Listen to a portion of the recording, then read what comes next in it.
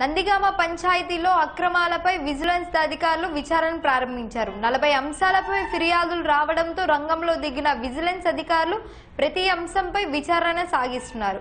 ఈ క్రమంలోనే పంచాయతీ కార్యాలయంలో విజిలెన్స్ అధికారులు తనిఖీలు చేశారు.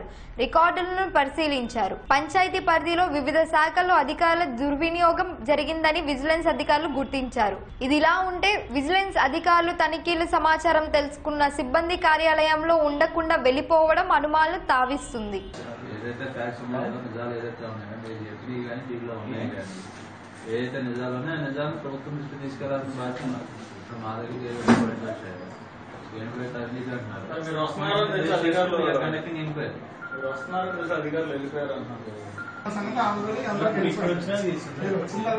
ఆఫీసర్స్ ఎగ్జిస్ట్ నాట్ ఎగ్జిస్ట్ అండి ఇక్కడ ఉన్నా లేకపోయినా డేటా వాళ్ళ బాధ్యత వాళ్ళ ఇప్పుడు మామూలుగా మీ దేనికి రాసిన రికార్డులు ఎక్కడ ఎప్పుడు నలుగురు శానిటేషన్